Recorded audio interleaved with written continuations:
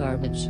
Written and performed by Megan Bandeld. Playing at the Storefront Theatre during the Port Fringe Theatre Festival. Saturday, June 18th at 9 p.m., Wednesday, June 22nd at 10:45 p.m., and Friday, June 24th at 5:30 p.m. Come and join us for Garbage, June 18th, June 22nd and June 24th. Hashtag Rainbows and Pills. Hashtag Port Fringe.